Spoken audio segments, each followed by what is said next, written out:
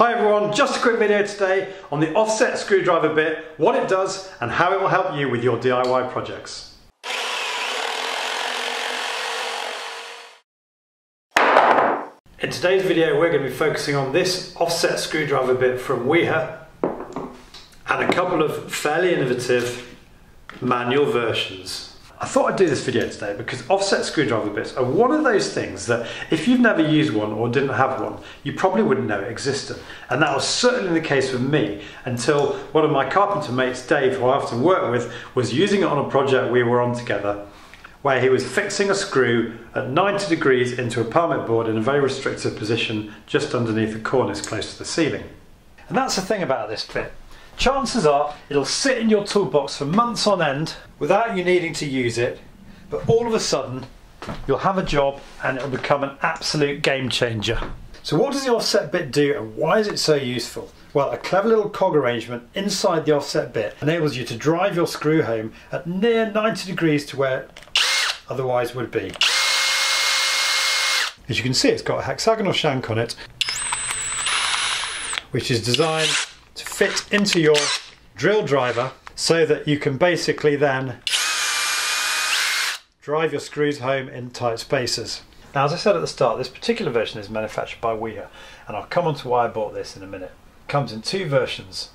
This standard version and also a high performance version which I have to say I didn't know existed till I started researching for this video today. The difference with this high performance version is this quick release stabilizer 48 adjustable positions and a torque transmission of 57 newton meters when compared with just 12 positions for the stabilization arm and a 14 newton meter torque transmission with the version that I've got.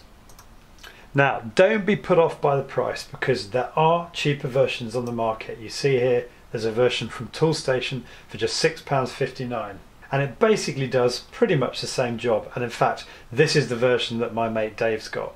Also, whilst the high performance version, which arguably has a much better and more useful stabilisation arm, is showing as £120 on the Wiha website, a quick search online and you can find this version for £62 and my version for just under 50 but the reason I like this version from Wiha is just the general build quality is so much better than the cheap version although I'm suggesting to you that the cheap version will probably do the job for you if you're only using it occasionally or alternatively you get acquainted with the cheap version and you could always upgrade to this if it becomes indispensable. One of the real differences between the budget version at Toolstation and something like this is the stabilization arm and my mate Dave has problems with his, it does keep coming loose or falling off. Basically the stabilization arm can be adjusted into 12 positions which is really useful because when you are trying to maneuver this in tight spaces you have to get a bit of purchase on it with the hand that's not holding the drill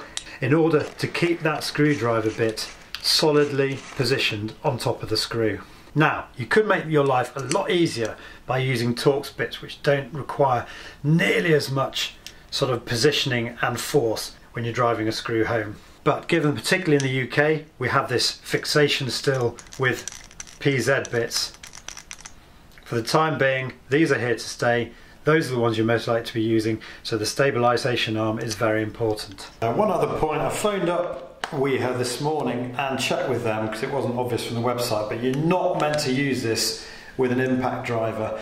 Um, I've got to say, the build quality of this is such that I have used this with my impact driver. You'll hear the percussion in the video coming up shortly, but you're not meant to.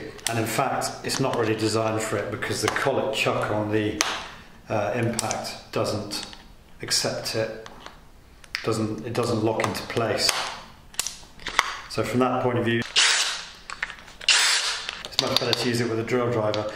And actually, the last thing you want, particularly if you're on site, as I am sometimes, is for this to fall out of the drill driver when you're up a ladder and smash into a brand new floor below.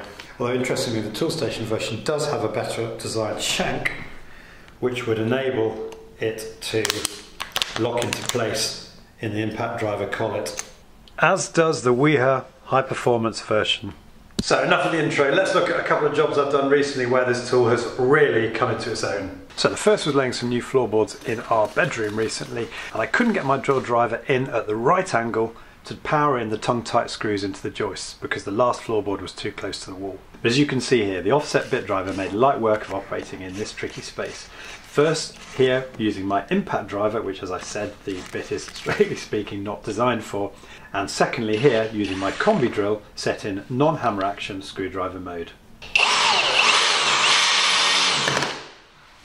Again on the same room I made a new door tread which links in by tongue and groove to the floorboards and a little strengthening strip which wasn't strictly speaking necessary because of the tongue and grooving. So again the offset bit was fantastic because it enabled me to screw my new strengthening strip in at 90 degrees to the joist rather than at an angle which would have pulled the strip down to the wrong height as I tightened it. And finally today's job I've got this drawer where annoyingly the little stays have come off and so it's constantly being pushed all the way in like this. It used to have a couple of these, but as you can see here, they're really badly, they're just literally fixed on with three pins. Now, ordinarily, it would be a bit fiddly to sort this out. I've made two new little stays to go inside the drawer.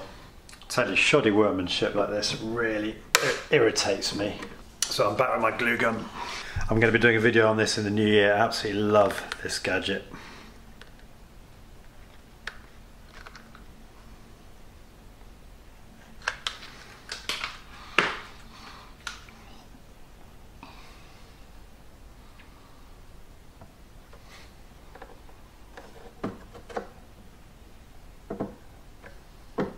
And then it's into the tool roll.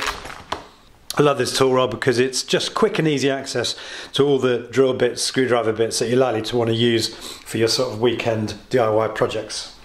And I've got this slightly knackered old box of Spax Torx bit screws, which I'm going to use this bit for. And now with my little 12 volt drill drive, which I love because it's such a light tool, I'm now going to complete the job that the kitchen company so negligently failed to do properly in the first place. Just to show you how easy it is to operate this offset bit.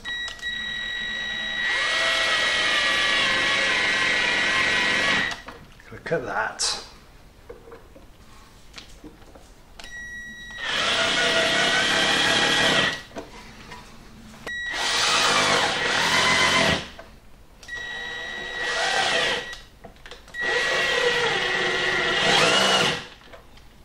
Think that shows the benefit also of the Torx bits as well as the operation of this offset screwdriver bit.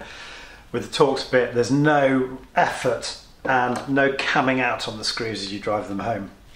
And that's it, job done. So I hope I've shown you a few useful applications of this offset bit. And there are of course some other notable examples. It's typically really difficult to get screwdrivers around the edge of a door handle to get into place and inevitably you end up screwing at an angle which is really tricky because as you drive the screws home it moves the handle around and it can become quite stiff to operate as it moves into the wrong position. And the offset bit obviously comes into its own in this situation.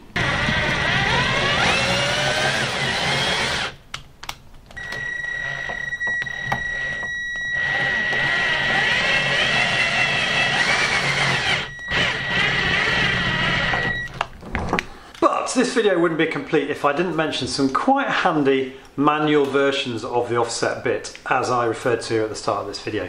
And I've got two to show you today. The first is this one from Draper. I found this in my local builders merchants oh, several months ago and I just thought it was really interesting. It obviously operates in a slightly different process but it's 90 degrees offset and irrelevant to this but it's got a load of attachments in the back including this bit holder that runs down the middle. Sorry, these have become a bit rusty for some reason. But if you haven't got access to your power tools for whatever reason, you're going to find a screwdriver like this is a real get out of jail card where you're having to work in confined spaces. I'm sorry, I can't put my other hand on this to stabilize it because it gets in the way of the camera, but you get the idea. Now the other thing I wanted to show you is this. Now I bought this on Amazon for £14 when I was researching for this video. It's a mini offset ratchet screwdriver and it comes from Japan. Now this is interesting because I don't have a lot of Japanese tools. I've got that Shikonin saw for the video for which you might have seen recently.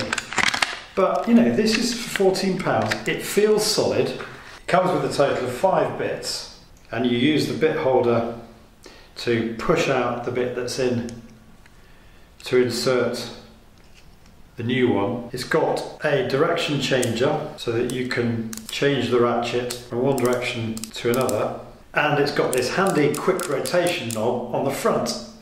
I've just realised it doesn't have a Pozidriv bit but this isn't a problem because you can just insert your existing one.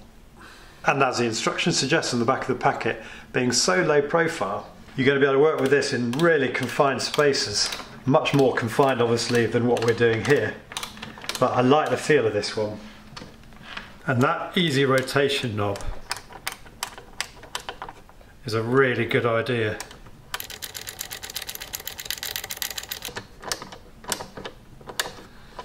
So that's it for today. I really hope you found this video useful. As usual, details of everything I've used will be in the description at the end of the video, which you can access on your smartphone by clicking on the little arrow to the right of the title and on your computer by clicking on the show more button. Now, for all those lovely people out there who watch my channel regularly, you'll realise I've been posting a bit infrequently recently. Really frustrating because I've got so many videos in the pipeline. So I hope to get them rolling thick and fast over the next few months. I've got a few videos coming out on our bedroom which we moved out of far too long ago now and a monster wardrobe build project all coming up in the new year. So thank you for your continued support, it means a massive amount to me. If you liked today's video do please click on the like button below and if you're new to my channel as I always say it would mean so much to me if you were to subscribe you can do that by clicking on the link here.